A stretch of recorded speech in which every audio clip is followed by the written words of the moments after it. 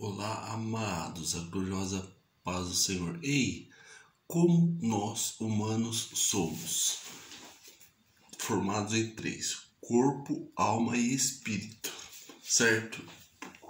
E o nosso Deus é o único Deus. Não precisa ficar falando Senhor dos senhores, Rei dos reis. Isso não existe porque o nosso Deus é soberano, é exaltado, é glorificado, é magnífico, é, é, é maravilhoso, é altíssimo. Só existe um Deus, que é dividido em três, como nós somos. Deus Pai, Deus Filho, Deus Espírito Santo. Não adianta você ficar falando assim, Senhor dos Senhores, Rei dos Reis. Não precisa falar só anuncia assim: Jesus Cristo, Deus, Deus Pai, Deus Filho, Deus Jesus Cristo, Deus Espírito Santo. Não precisa você ficar falando no caso, ah, Senhor dos Senhores, Rei dos Reis.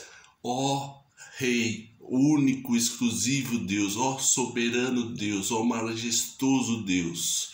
Lerei para vocês agora Isaías capítulo 43 versículos 10, 11 e 12. Vós sois as minhas testemunhas, diz o Senhor, o meu servo a quem escolhi, para que o saibais e me, cre... e me creiais, e entendais que eu sou eu mesmo, que sou eu mesmo, e que antes de mim Deus nenhum se formou, e depois de mim nenhum haverá. Eu sou o Senhor e fora de mim não há Salvador. Eu anunciei salvação, realizei, realizei-a e fiz ao ouvir. Deus estranho não houve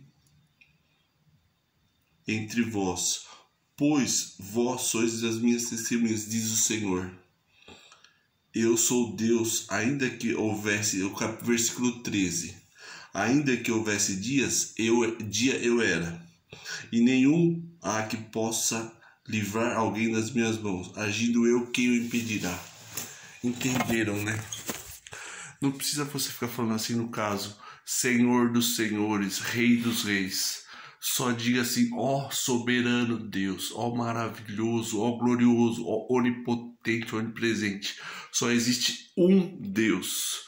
Como nós somos divididos em três: corpo, alma e espírito. Deus é Deus, Pai, Deus Filho Deus Espírito Santo. Não justifica você ficar falando assim. Se você estiver falando Deus, ó Senhor dos Senhores, você está dando meio, está dando lado pro diabo, né? Porque o diabo se acha um Deus, ele se acha um poderoso, mas ele não é nada diante do nosso Deus.